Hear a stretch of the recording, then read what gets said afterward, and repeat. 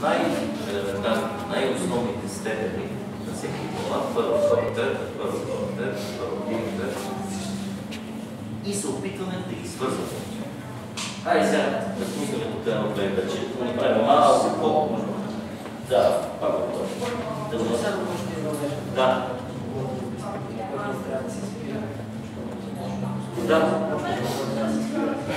В началото, когато започна, аз не случайно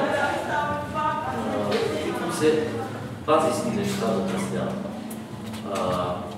В музиката кой може да каже как може да се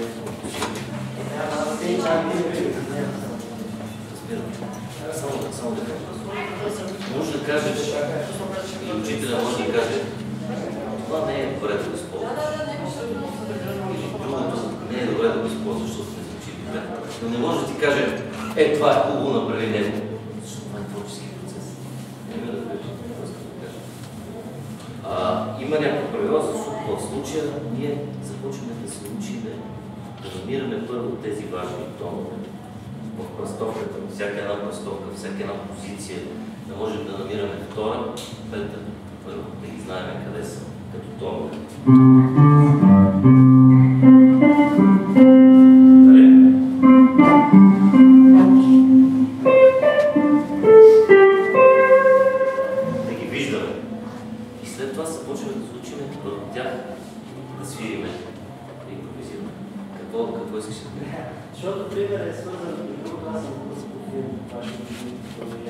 А. Да, Той е ли? и съм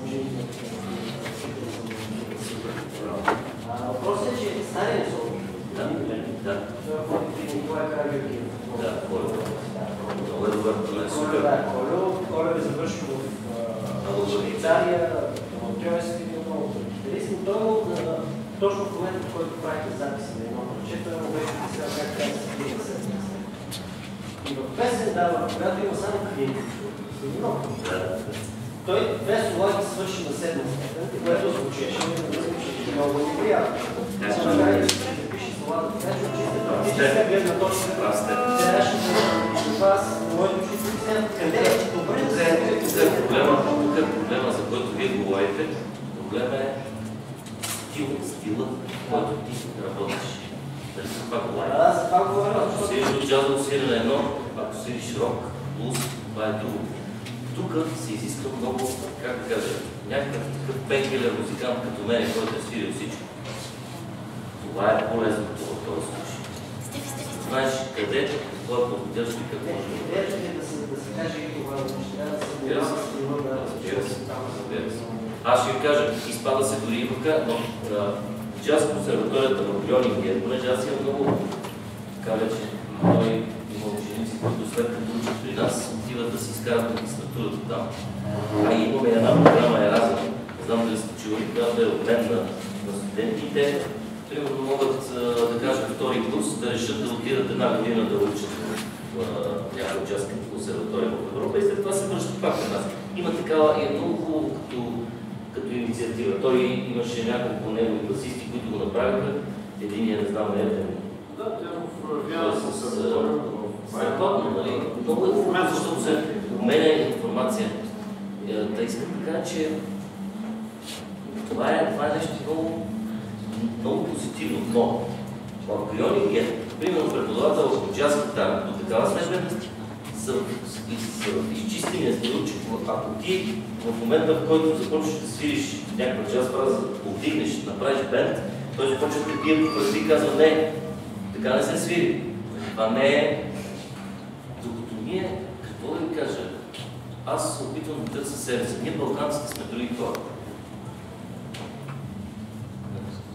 Ако човек живее в България, дали ще може да, как кажа, дали ще е подходящо това нещо за нас? Ако си зададем този въпрос, нека всеки си го взе. Аз лично не искам да давам отговор, защото отговорите са много, но представете си до такава степен да си в изчистен стил и примерно да, да те разбират трима човека или четирима. И как ще оцелеш, ако само с това се занимаваш? Това искам да кажа. Това е много трудно много тежко. И аз го разбирам това нещо за, за колеги. такива като нас, господин Стоянов, ние понеже във всяка една среда сме работили, да не изброяваме. Едно от нещата, които така се гордея, защото и той много е добър в това отношение, това така наречената прима. Е, Това е нещо, което ако ще да си бил и твърд или където да си бил, ако не го практикуваш и си го практикувал, няма да изтриеш и два тона. Когато ти сложат, е така, ще, ще ти кажа готов си. Имаш 5 минути, да, 5 минути имаш само, или 2 минути имаш само да прегледаш и диригентът казва 3-4 и започва и записваш. Да, това е това е съвсем, съвсем друг вид ситуация, в която изпадаш. Надали на, на някой от вас някога се случи такова нещо, нали? но нас се е случило и затова казвам като, като опитност на това нещо.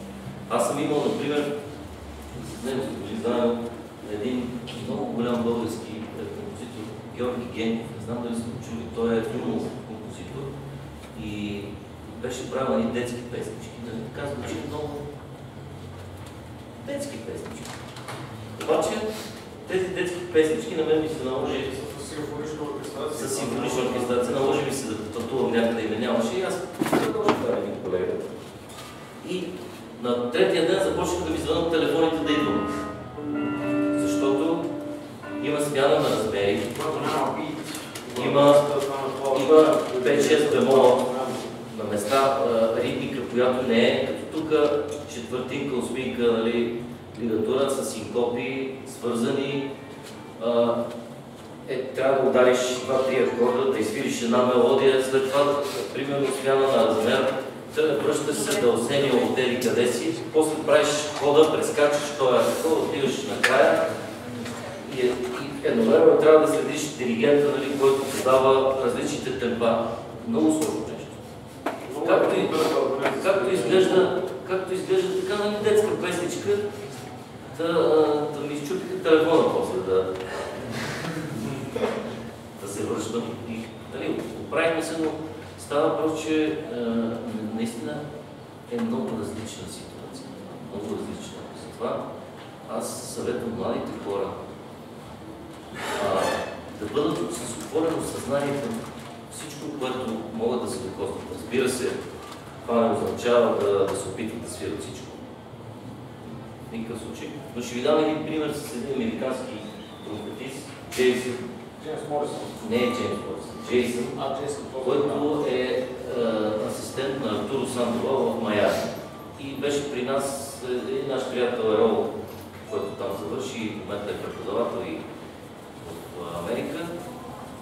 доведе. Той е изключителен а, а, латино. Тоест, фаща тромпета и без да се развира до на трета, на четвърта октава. Изключително нещо.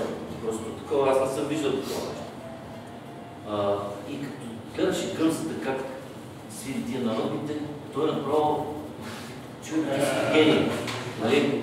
В неговата област гързата няма да може да изсвири сигурно 0,01 от това, което той свири. Но в фолклора и той го оценява. Разбирате ли какво искам да го кажа? Затова казвам на младите да бъдат с отворено съзнание. Не, че трябва да може да свири всичко. Няма такова нещо. Ти си там, където си. На всеки човек му се отдава едно нещо по-добре от друго. Нали така? На един човек рок му се отдава на друг, джаз на трети, блуз на четвърти класик и различно е на пети фолклор. Нали? Обаче винаги съзнанието трябва да бъде отворено към, към другите. Никога не казваш, ай, тия, те са ери си, нали? Веднага определението. Сложиш и затваряш. Затваряш си кръгозора и той се стеснява. А добрия музик